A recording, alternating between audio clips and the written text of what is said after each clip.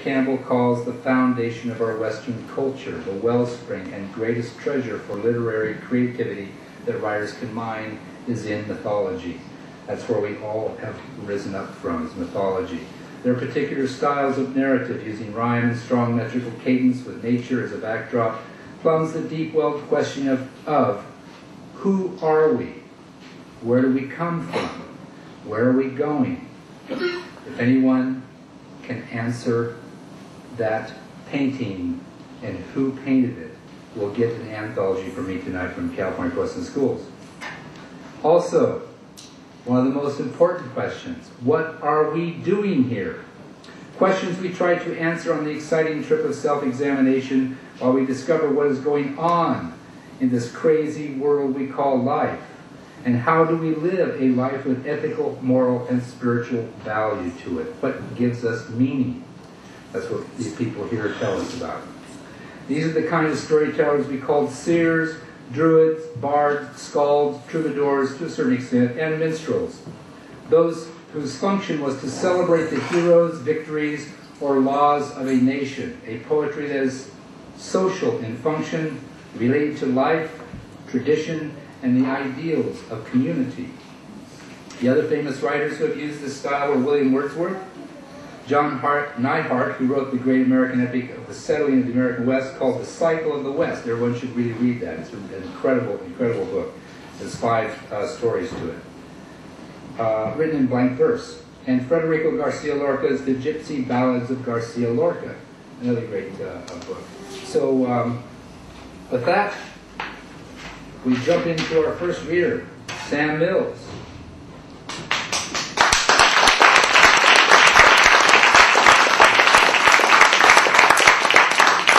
He's kind of a relative newcomer. He got into uh, the poetry and bug, and then all of a sudden it hit him. I guess he's been writing for some time, but anyway, he's been up here for a couple of years now. He has two shiny new books for us. Young adult novels published by Steiner Books. The Demon Slayer, a coming-of-age story set in ancient India involving the Hindu god Brahma Vishnu, the preserver from the classic mythology of India. And The Firebringer, using classical Greek mythology with Prometheus, which means foresight. Very important to have foresight. Everyone's got great hindsight, but foresight. The Titan who stole fire from the gods and gave it to the humans. Zeus was mad and punished Prometheus by chaining him to a rock, and each day a vulture would tear away at his liver. But at night, the liver would regrow and heal itself for the next tearing the next day. But I'll let Sam fill in all the other uh, details of all this. So please welcome Sam Mills.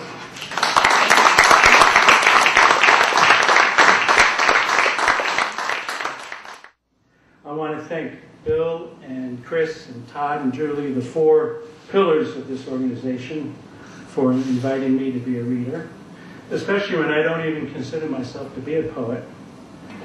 I think I'm a novelist. At least I have been for the last 10 years.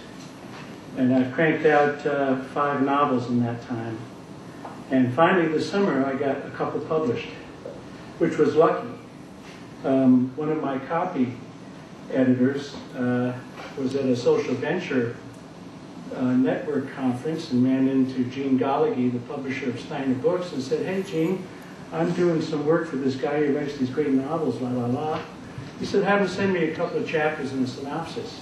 So I sent uh, four different stories out to him, and I didn't hear anything for weeks and weeks. And but you know, usually when you send stuff like that, you don't hear anything anyway. Sometimes you, you get the dear, you know, sorry but no thanks.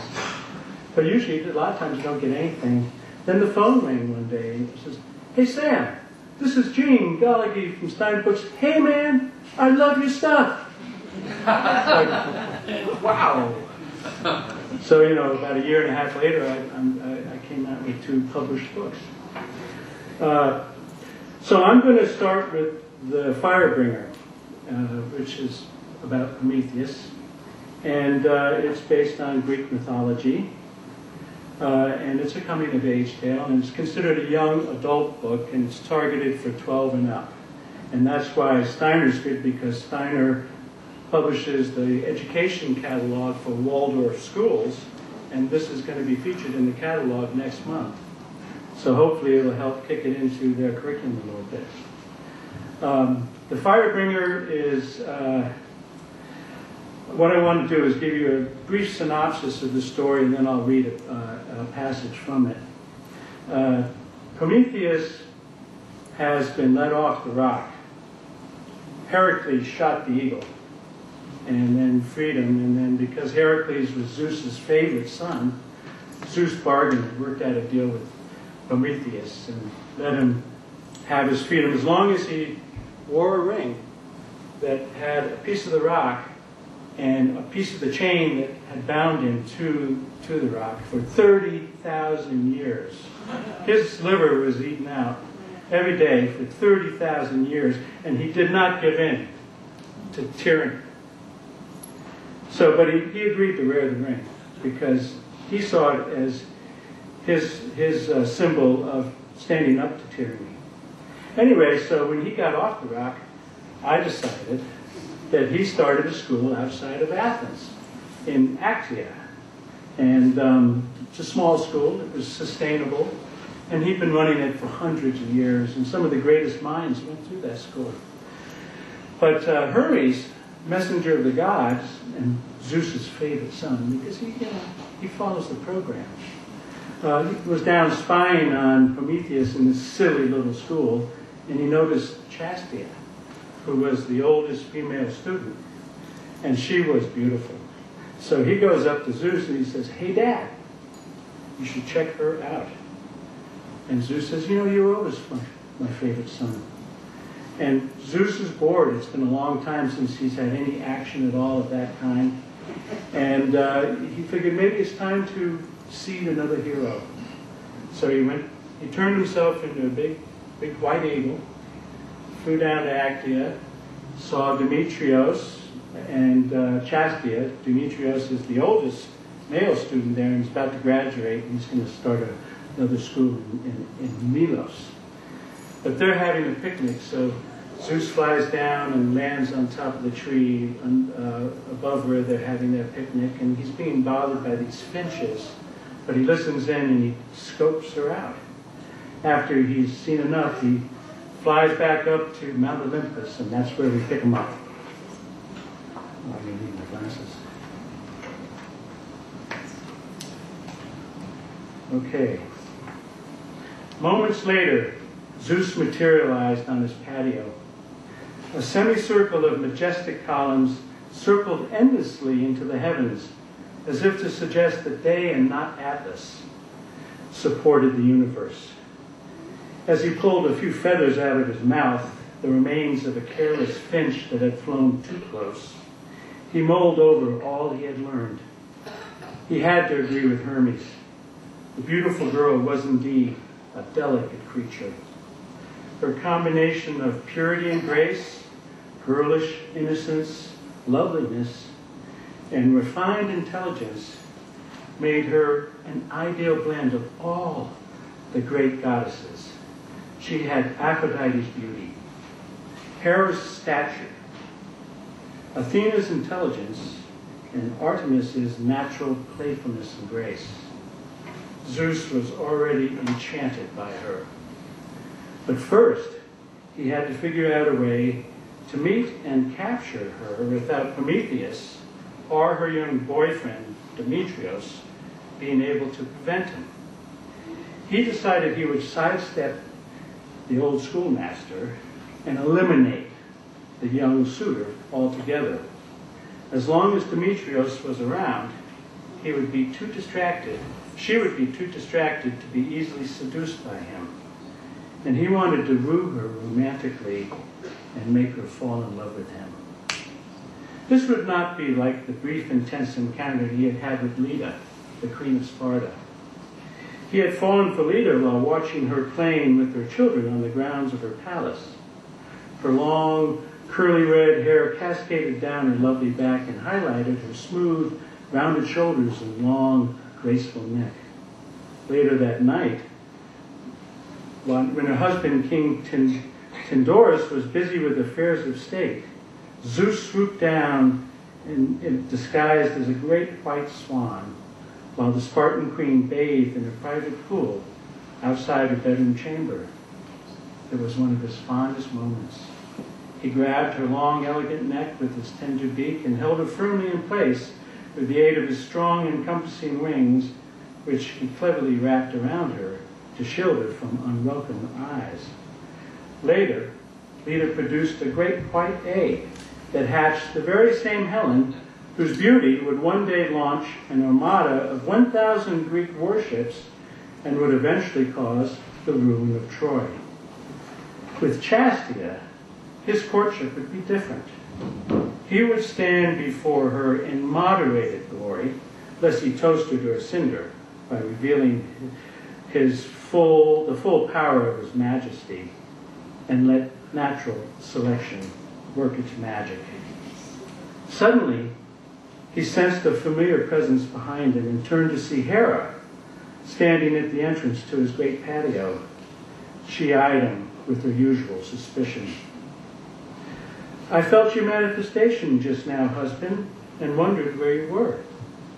Whenever any of the gods materialized themselves, a subtle vibration sent waves through the surrounding atmosphere. Even the dullest of them could sense it, and Hera was anything but dull. Her voice had a familiar edge to it that he had heard a thousand times before. I was soaring as an eagle over Athens, my love, surveying my kingdom and getting some exercise at the same time. I spied several new houses rising on the western side of town. Those humans propagate like rats, don't they? You would know all about that, wouldn't you? Her voice was frosty. But I really dropped by to ask you a favor, my love. She softened noticeably. Hephaestus is unhappy with his new Roman name and is threatening to boycott the celebration. I'm trying to convince him otherwise, but he remains stubborn and unyielding. Would you have a chat with him and persuade him to change his mind? I do want him to attend the party with the rest of the family. Just as an aside, Hera's throwing a huge party. Uh, it's the hottest ticket in Olympus. And it's the name changing celebration where they're going to change their names from Greek to Roman to keep pace with the, the changing world below them. Zeus smiled, smiled wearily at his wife. Of course I will, my sweet. What's the matter with this new name? I think Vulcan fits him perfectly. Yes, I do too, Hera agreed, but he feels it sounds too much like vulture and resents the implication. Isn't that silly? I've already talked to Aphrodite, and she has agreed to help us change her husband's mind, but she is also unhappy with her new name. She said Venus is too close to venereal and is offended with the association. I hope she doesn't decide to boycott the party. I'll talk to both of them and encourage them to come, Zeus reassured her. I'll tell them it's going to be an important night and they should be witness to it. Hera smiled graciously. Thank you, dear. Please let me know how it goes. With long, elegant strides, she disappeared down the pathway that led to her separate dwelling. Zeus sensed that he best pursues Chastia with stealth and caution. Hera was already suspicious. He hated the way his wife could read him like an open book. Whenever he started sniffing around a new prospect, she was on him like a stinger on a bee. He would have to tread carefully, or he might subject himself, or more likely, poor little Chastia, to some painful consequences. But first things first, if he was to have any chance at all with the lovely maiden, he must figure out how to remove her handsome young boyfriend from the field of play for good.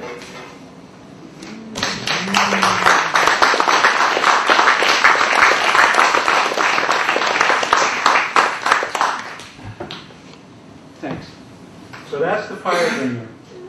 Now we're going to move to India, uh, to the demon slayer. And I'm just going to read the excerpt on the back of the book to give you a synopsis of the story, and then I've got a couple passages I'm going to bring, uh, read from that. Experience Hindu mythology through the art of storytelling. Learn what it means to live a dharmic life, true to your word and respectful of your obligations and duties. In this coming of age tale, journey 5,000 years back to the danger filled jungles of ancient India to a time when gods and demons walked on the earth. Abhay, the hunter's son, must earn his manhood by facing a selfish bully, a man eating leopard, and a fierce demon. Daida, the loveliest maiden in the village, must marry according to the rigid laws of her society rather than her heart's choice.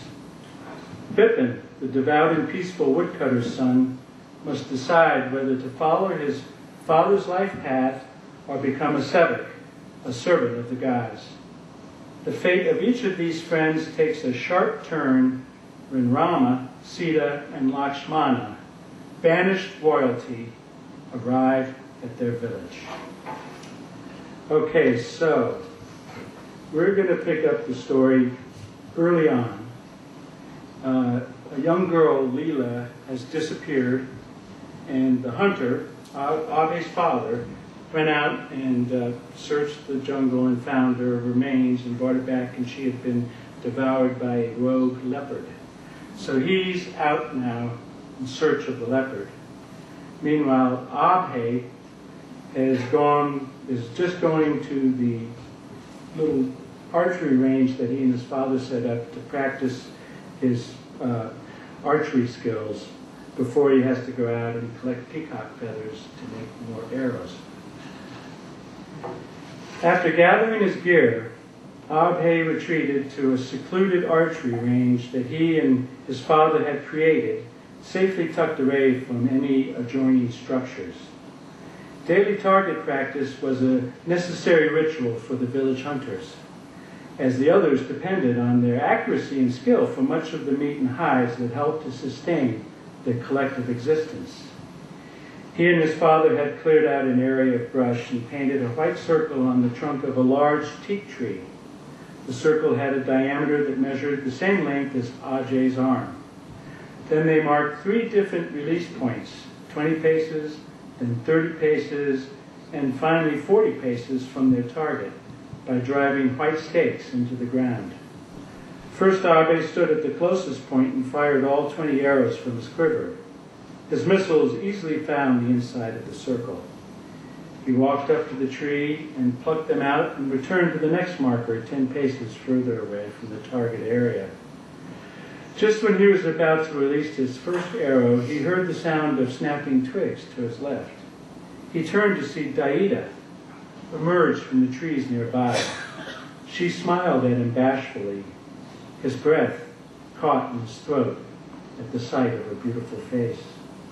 I'm sorry, Abhay, did I startle you? The young girl asked as she stepped out into the open. He relaxed the tension of his bowstring and turned toward her. No, I could hear your footsteps approaching me, Daida. He pointed his bow and arrow toward the ground. Are you lost in the woods? He was teasing, for she had come to the range many times before as they used to play here when they were younger and were allowed more freedom to interact with each other. Now that they both approached adulthood, they were supposed to be chaperoned at all times, especially since her mother, Trusha, distrusted him. Actually, I'm picking flowers for Leela's funeral. She carried a basket with a few flowers already in it. How's your aim? Good. Watch, I'll show you. But you'll need to step back a few paces just to be safe. Daida stepped back and Ave took aim and loosed all 20 arrows into the white circle with a steady and uninterrupt, uninterrupted rhythm as if he were a warrior in the heat of battle. She clapped with delight while he walked back to the tree to retrieve them, trying to contain his flushing pride. Can I try? She smiled at him, showing off perfect, a perfect, her perfect set of teeth, which gleamed like the white petals of a lotus blossom. How could he refuse? He looked around the area to make sure there were no unwelcome eyes spying on them, and then told her to place her basket at the base of the tree and to follow him back to the first mark. Once there, he handed his bow to her and instructed her to pull it back as far as she could. She managed to draw it about two thirds of the way back. That should be enough, he determined. May I help you set the arrow? Yes, you may, she replied sweetly. Abe stood behind her. He could have sworn his heart leapt a few feet out of his chest as he strung his right arm around her and gently laid an arrow on the bone notch that was glued to the shaft of his bow. He slowly placed his other hand over hers along the shaft. Her body fit tightly against his, like it was formed from the same mold. He thought he could feel her heart banging like a hammer against her back, trying to break out, but then realized it was his own heart, beating like a framed daft drum inside of him. Taking a deep breath, he removed his right hand from the arrow's notch after it was secured against the bow's sinewed string and positioned it over her right hand, placing his fingers alongside of hers. They cautiously pulled back the bow's taut string together. When it reached the level of her cheek, he adjusted the direction of the shaft and whispered for her to let it go. She released his fing- he released his fingers at the same moment. The arrow streaked through the air and struck firmly into the center of the white circle.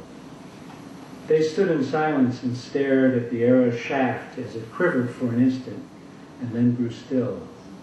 A sense of shared magic permeated the space around them, as if an, an eternal connection had been forged at that very moment in time. Then the twin sensation evaporated like a puff of smoke and was gone. Nice shot, Daida, he whispered in her ear. She waited a moment, for she was reluctant to spoil the experience with words, and then responded in her own equally hushed voice. Yes, nice shot, Abe. He dropped his arms, holding on to the bow, and freed her from the containment of his stance. She turned around and looked directly into his eyes. Abe felt as if a bolt of lightning penetrated his consciousness, numbing him and leaving him helpless before her. She was so beautiful, so present and alive. He knew he would love her forevermore. Obviously moved too, a tear glazed the corner of her right eye. She quickly averted her gaze and stared down at her feet. I must go and collect more flowers. Thank you for helping me experience the power of your bow. You're welcome. It was all he could think of to say. She walked back to the tree and picked up her basket. She glanced at the arrow shaft one last time, turned and smiled at him, and then disappeared into the trees and was gone.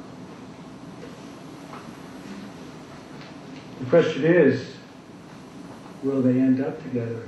Unfortunately, she's been betrothed to Vishal, the town bully, whose father is the steward to the Hemish, the sage, and to the ashram, and has more status. And since Trusha, the mother, is the village matchmaker, Daida has no choice at all. Um, I'm going to read one more short passage. It's about the baddies, the demons. And you're going to meet them just as the reader does. Many, uh, many leagues to the north of Abe's village, two demons crouched under the sweeping branches of a large pipal tree and picked at the remains of a human child. They had just kidnapped the young boy from a nearby village that adjoined an ashrama on the banks of the, the Narmada River. They both agreed that the little fellow made a tasty and delicious treat. Even though the soft meat had long since been devoured, they still gnawed on the child's bones, for a hunger was hard to quench. Hanshira, the larger of the two demons, picked at some stubborn pieces of sinew with the two inch claw of his right forefinger. The stubborn gristle had lodged between his sharp and pointed fangs. Yes, he made a tasty little morsel indeed, nice and sweet, he observed. But I'm thinking a wild hog might be fitting for our next course. I spotted a pig's trail a little way back and think we could run it down in no time at all. What say you, brother? Are you game? Durapa, a tall and lanky demon, belched contentedly before he responded to his older brother's suggestion. Your stomach is an endless pit, Shira, and is forever calling for more. I need to rest a spell before I can resume the hunt. I'm full enough with this man-child's flesh and guts and want to savor the flavor of this scrumptious meal. I was particularly partial to his liver, very delicate and tasty. Yes, yes, of course, you're right, little brother. I only meant as a follow-up for later, after we've digested a while, the older demon replied, sounding more disappointed than his words would suggest. They settled down, down on their haunches, leaning against the trunk of the giant tree. Thick heart-shaped leaves provided a pleasant shade from the midday sun. They both had long, hairy arms and carried broad, curving swords, which they tucked into the cloth sashes that were tied around their waists. Hanshira was notably broader in build than his younger sibling. They gnawed on the few remaining bones of the human boy child and listened to the distant trumpeting of a herd of jungle elephants downriver from where they lounged.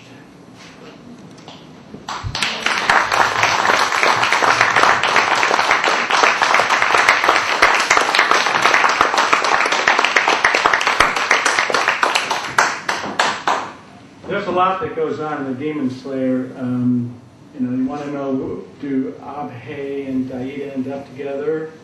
Uh, can Abhay survive not only the bully, but the leopard, and then the demon? Um, what happens when Rama and Lakshmana and Sita arrive, and how do they become mentors to Daida and Bipin and uh, Abhay? Uh, also, within the story, there's about five different Hindu myths that are recounted or told as part of the story. Anyway, I'm going to finish up with a ballad. Um, and uh, this was written when my girl was 10 years old. She's now 21. Uh, but uh, it inspired this, this story, which is called The Golden Aspen Leaf. On a pale day, when the world was young, a girl decided to have fun by sneaking out the village gate when it was getting fairly late.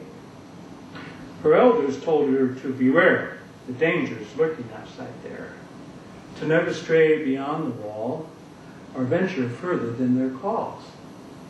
But she was restless, young, and bold, and they were wrinkled, gray, and old.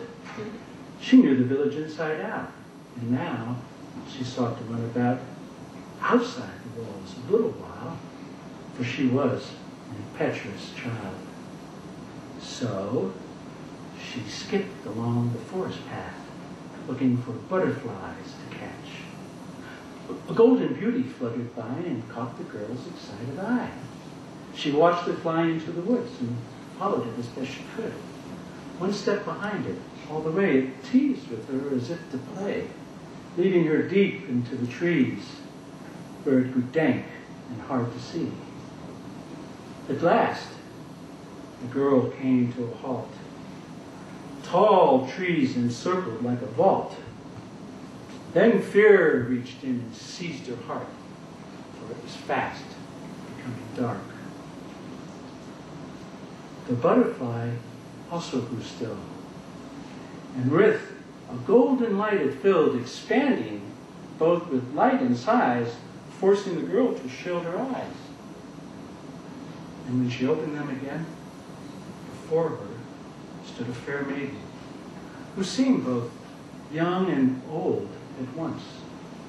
The forest glowed with her presence. She smiled gently at the girl, whose fearful heart had once unfurled. The maiden offered her her hand and led her a lovely stand of golden aspens in a row with myriad sparkling leaves aglow. They settled themselves on the ground, with spectral lanterns all around. And then the maiden sang to her a soothing song of other worlds. Her voice was silken, sweet, and soft. The girl no longer felt so lost. And when the maiden's song was through, she spoke of many truths she knew of how the worlds were intertwined, that light and dark were both combined, and how they then were both the same, and from a sacred source they came. The maiden ended with these words This is your lesson to be heard. I am your higher self, my dear. Close to your heart, I'm always near, supporting your adventure here. You only have your doubts to fear. Be bold, have faith, and persevere. And then she brightened like the sun, and sound and sense became as one. When normal space returned at last, it seemed as if no time had passed. The girl was sitting near the gate inside the walls she'd grown to hate. She thought she ventured out of town, but now she sat on village ground. She knew someone had touched her heart and that she'd seen light in the dark. She wondered if she'd had a dream of butterflies and gold light beams. But when she opened up her hand, the girl began to understand. A golden aspen leaf she held, and she remembered all was well.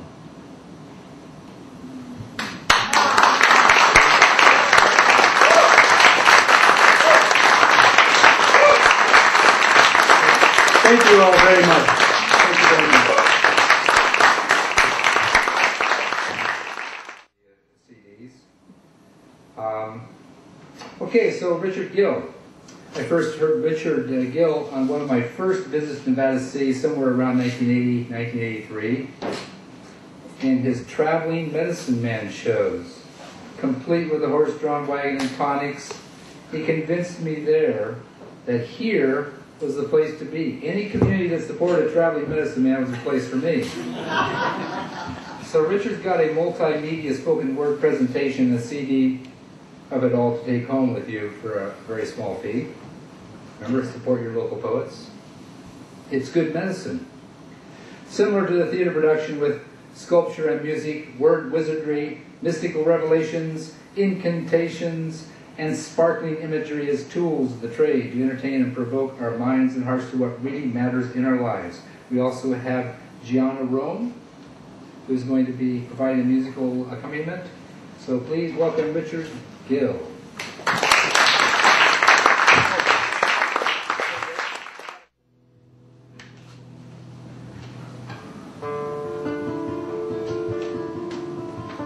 Before I begin, I'd like to take a moment and tell you that I created Signs of Our Time as an artistic statement because I've had many thoughts and questions about our world at this time. So, as an artist, I have combined several of my art forms into one the poetry to produce the story, the spoken word to present the story, and the, the sculpture to give you a lasting image.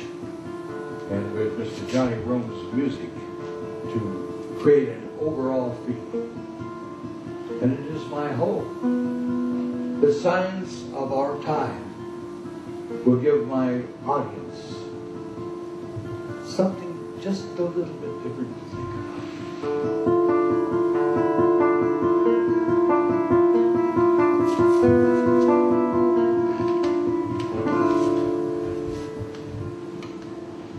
It may be time to look for the signs. The signs of our time. Where did it start? How will it end? Where are we coming from? How many have it all? And how many more have none? Could this be a sign of our time?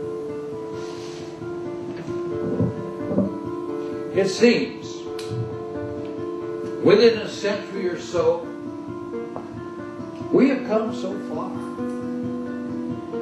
from the plodding horse and buggy to the fastest moving trains, planes, rockets to the moon,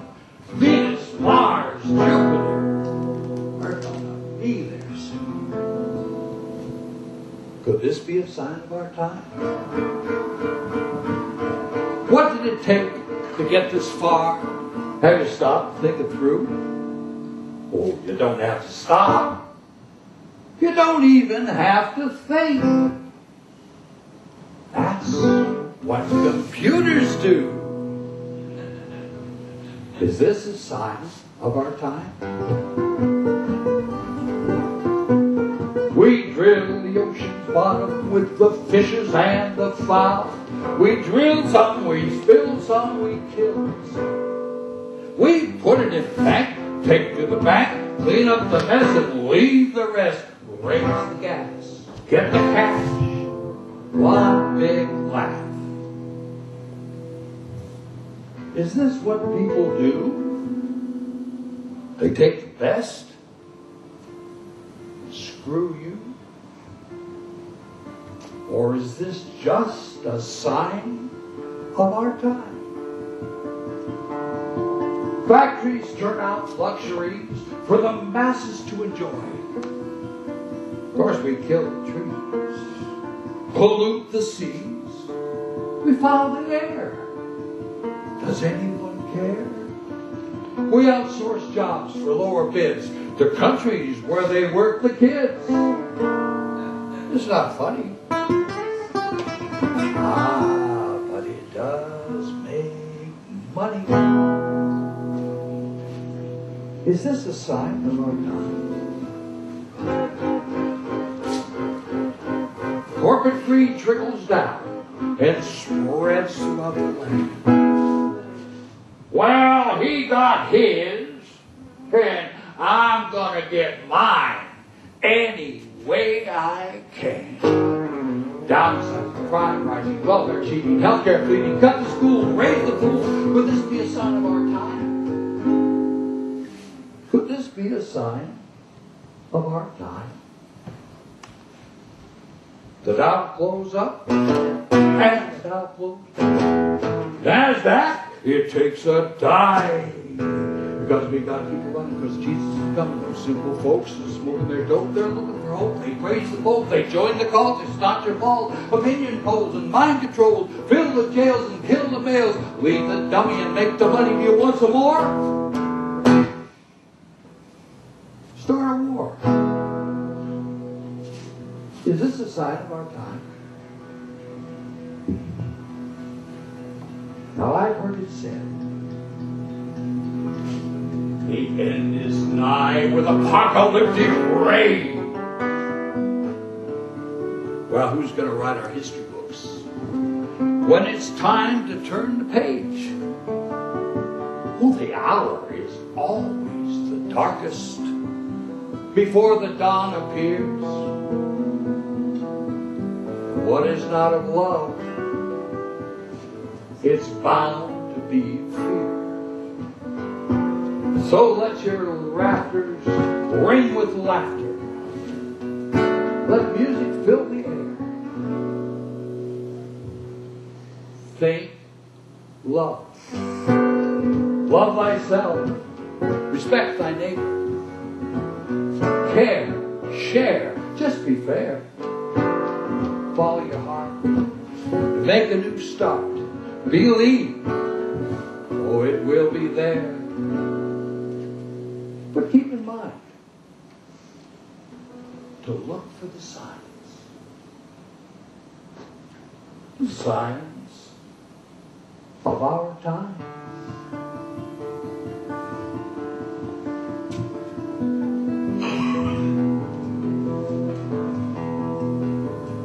There's a virus spreading, and it's creeping across our land. Lurking on the city streets and byways. Women. Men. Even little children. They're the homeless, young and old, huddled round a burning trash can, huddled from the cold. We may not give much thought to those strangers in the night, seeking to warm their souls from the chill of their plight. But always keep in mind that round this fire's roar, there is always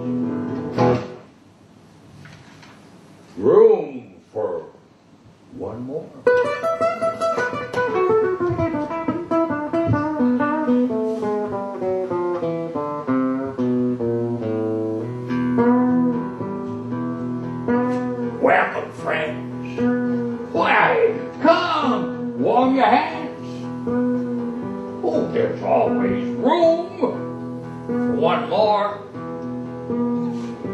Oh, our palace has no windows,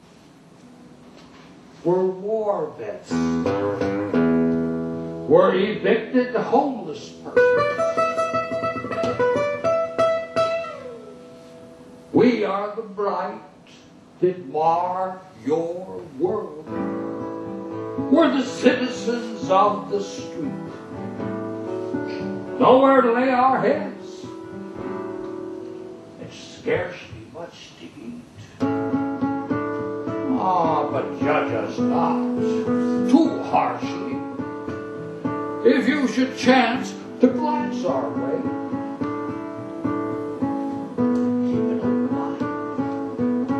and heed the words I say. For if the odds should stack against us, and luck would close her door, fate may point his finger at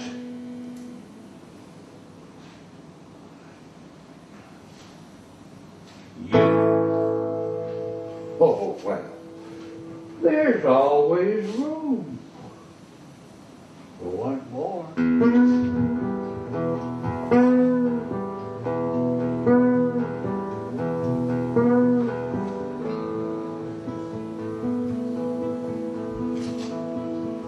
I want to tell you a story about a man you may never meet. And he lived most of his life in the same old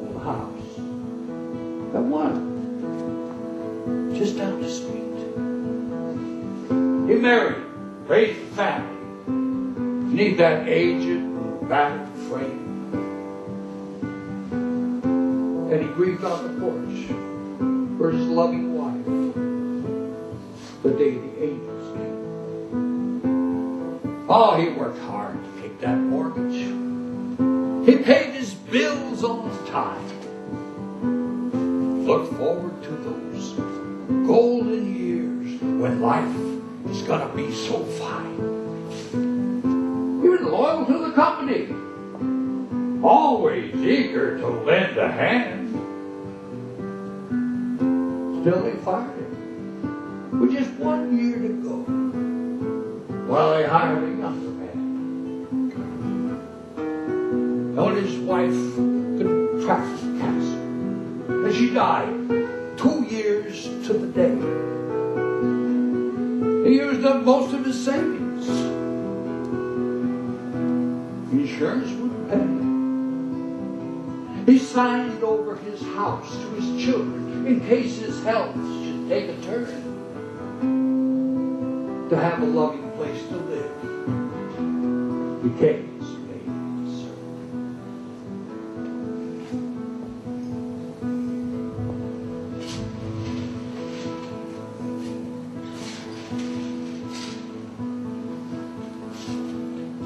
He broke his hip in May. Two fractures to the bone. He ended up on welfare in the Seedy Valley nursing home. All the attendants were kind, but overworked. So his time was spent staring at the floor. Old friends? Oh, they mostly gone now. And his kids? They seldom visit anymore. Are these the golden years that he dreamed of once upon a time?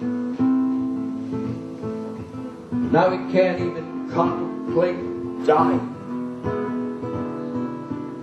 The drugs have dimmed his mind.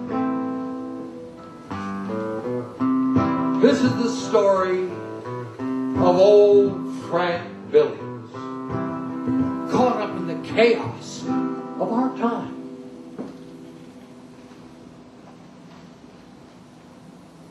We're sorry for you. Oh, in many forms, the elusive, ever changing truth. Is your truth?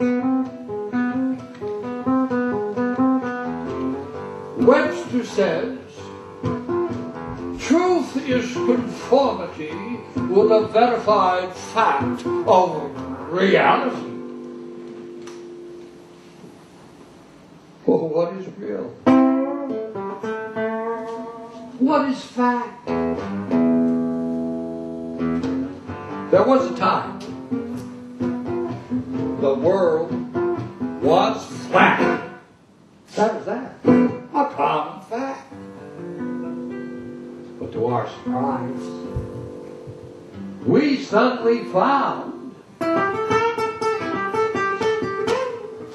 the world is round. Now the laws apply, and you can't deny that in the sky man can't fly. Oh, can't you see? It just can't be. It's a reality. Then all too soon, we're on the moon. Where is the truth? Now there's a belief that's held by all. And from our souls, we heed a call of something bigger, greater, they say. And to this unseen force, we pray. Though many differ in their quest, one is righteous from the rest. And so we battle, kill, and maim. Though our beliefs are much the same. Who has the truth? Prophet's words are true, clear. Love. Love thy neighbor, have no fear. Yet man interprets for his greed and many follow in their need. And so we kneel, we sing and pay, waiting for that judgment day. We close our eyes, turn our backs, refuse to see, ignore the facts. As chaos threatens,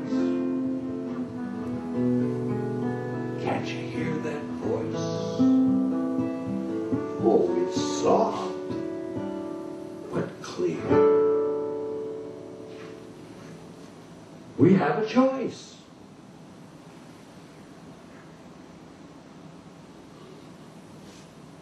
Is that the truth?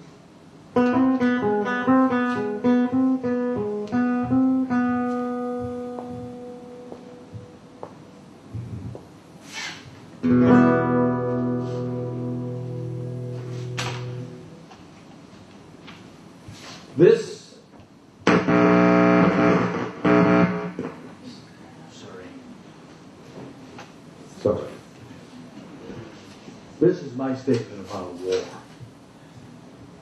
No particular war. Just every war that has ever been fought.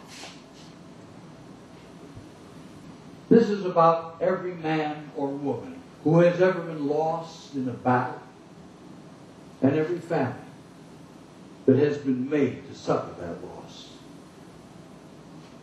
This is about victory. Every victory ever won.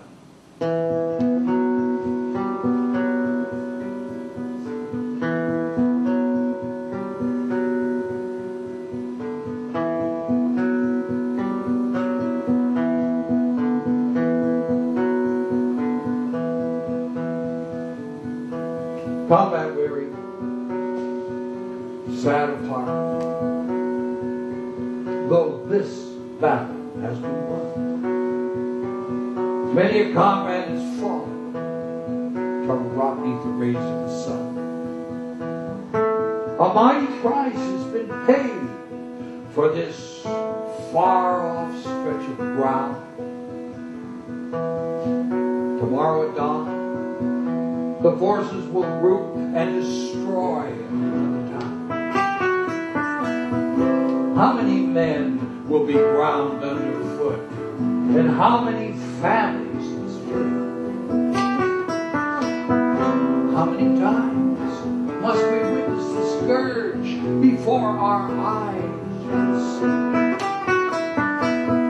That no matter how far an army may march, in response to its leader's call. We may ask the question when those guns grow null.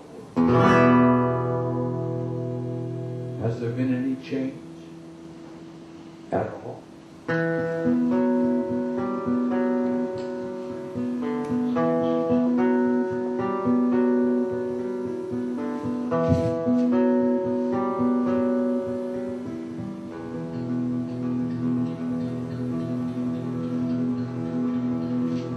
Time for the reading of the last will and testament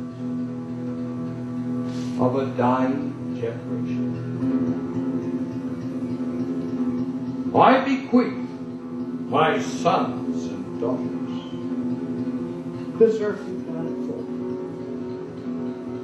and to your children and to theirs waiting to be born.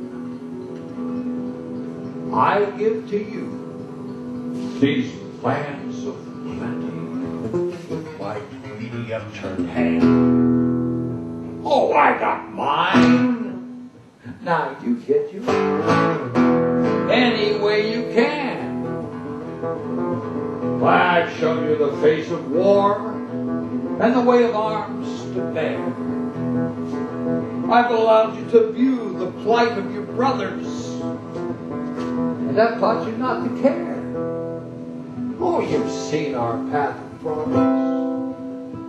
We live but for today. Now you must dwell neath the shadow of our doomsday folly. We dance. Now you must pay. Yet this family still can reunite if we pull all our sense. Be sure to keep an eye on the crazies of this world. Because the fortune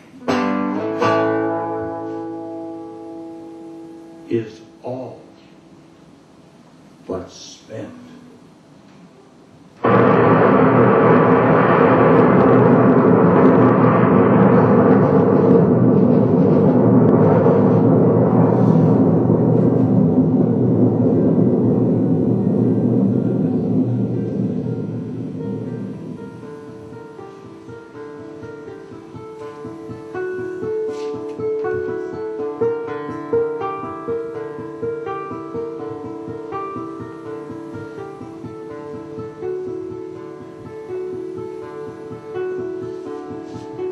Who will build our cities of tomorrow?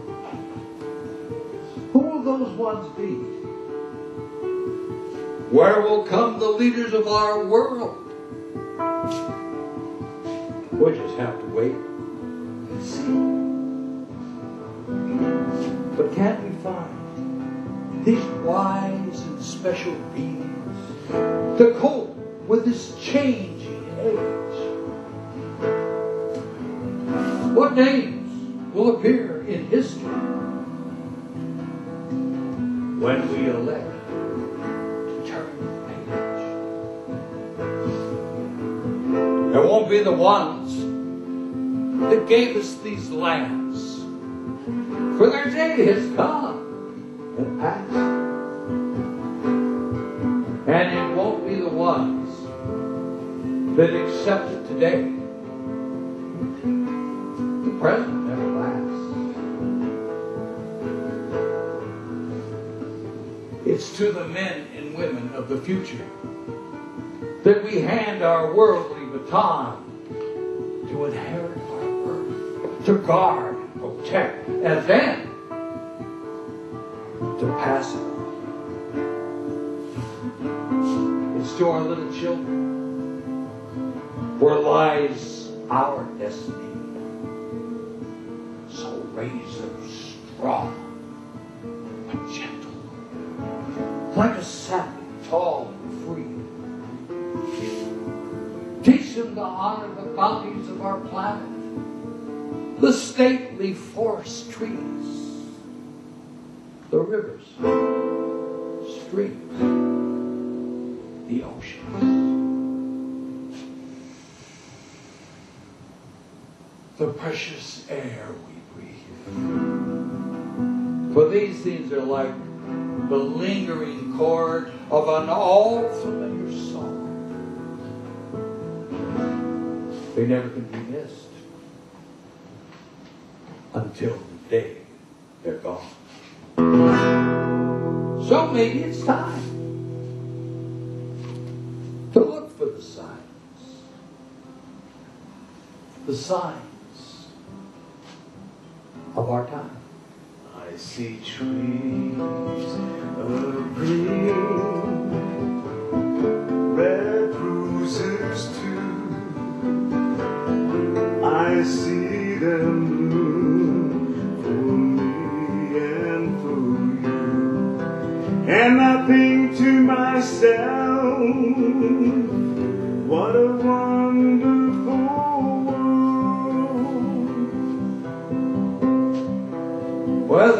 we have to say. And I hope it's given you something to think about. And on behalf of Johnny Rome and myself, we just want to say this is a wonderful world. Let's keep it that way. And I think to myself, life.